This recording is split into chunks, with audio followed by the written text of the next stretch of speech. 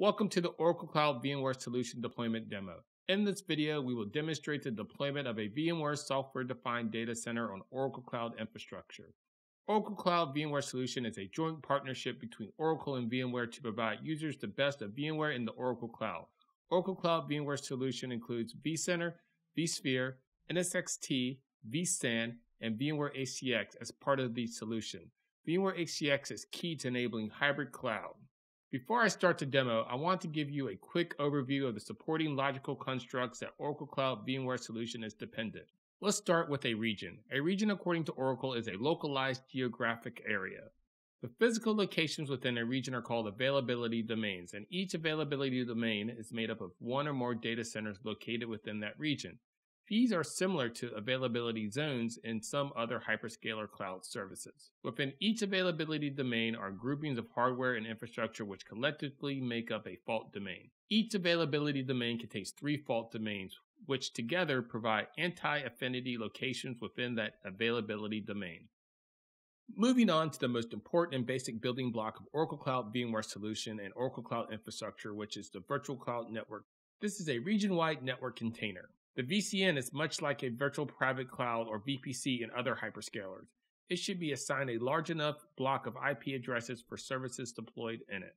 One of the properties of a VCN is the automatic internal routing of the objects inside the VCN. So here's an imaginary router in the VCN to show that it has routing capabilities. We'll color it VMware navy blue. Logically, it sits outside the availability domains. In fact, let's just stretch it across all the ADs. The VCN address range is the overall scope of IP addresses, but to connect anything inside the VCN, we need a network. The early versions of subnets from the VCN SuperNet only spanned one availability zone like this. Let's connect the AD-wide subnet to our VCN. One more thing, the AD-wide subnet spans all the fault domains within the AD. Since launch, things have continued to develop across the Oracle Cloud. And one of those developments brought us the VCN wide subnet. Just like the AD wide version, we define this with an IP subnet, and it too gets an uplink into the VCN routing space. This is where we typically deploy Oracle Cloud Infrastructure virtual machines. In a typical network diagram, we will show these virtual machines connected to a network. So let's do that here. But this is an Oracle Cloud VMware solution demo. So let's take a look at those bare metal hosts, which brings vSphere into the picture. We'll just show a single host for clarity here. While we are here, we might as well take a look at the host specifications. At time of this recording, the standard Oracle Cloud infrastructure host is a 2 CPU, 52 core bare metal server with 768 gigabytes of memory with 51.2 terabytes of storage. There is a 3 host minimum with a maximum of 64 hosts per vSphere cluster. In the demo, you will see that the deployment wizard will take care of deploying the ESXi host for you. Now, the host needs some form of network connectivity, but there's an issue here. The subnets we saw earlier were purely layer 3. They encapsulated the Oracle Cloud Infrastructure virtual machine traffic and provide all the network capabilities needed to forward that traffic, but don't offer layer 2 capabilities. We need something which does support layer 2, and Oracle Cloud provides us with a special construct which supports things like ESXi and vSAN that need layer 2. The VLAN behaves in much the same way as a subnet, but with additional layer 2 support.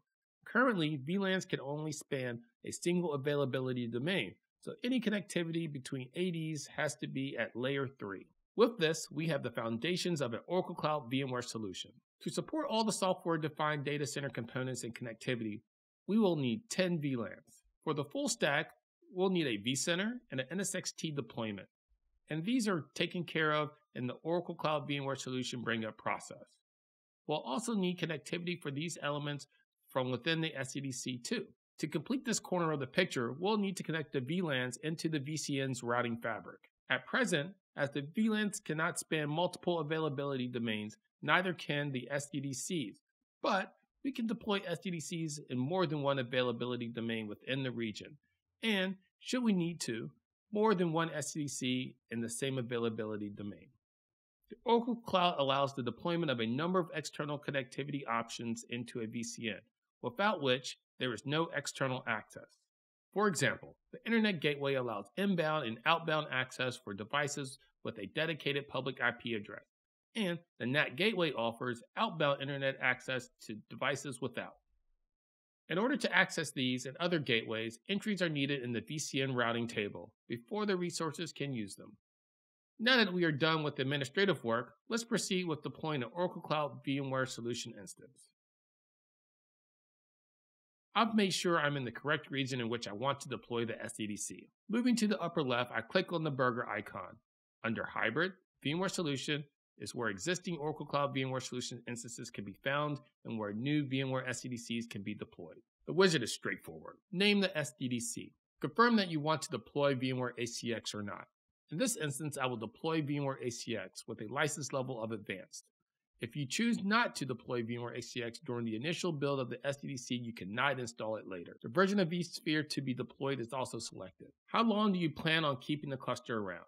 There are a few options here to choose from. Pick what is appropriate for your use case. How many hosts?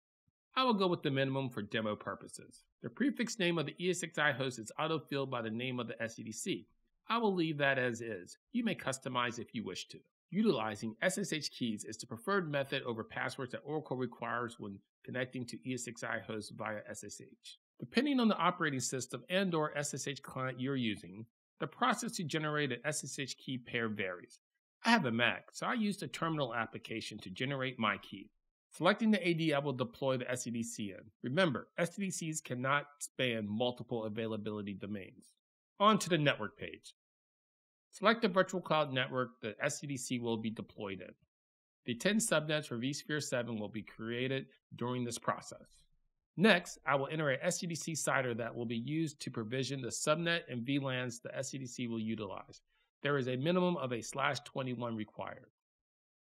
Scrolling past the subnet and VLANs that will be provisioned from the slash 21 that I just entered above, Last is the SDDC workload network. This is the first port group that will be created in NSXT for your VMware virtual machines. Let's review. All the information that was entered in the basic information page is displayed along with the networking that was just entered. This is the final review before kicking off the deployment. Now I will build the SDDC. I'm just scrolling through, looking at the detailed list of networking objects as they are being created as part of the bring up process.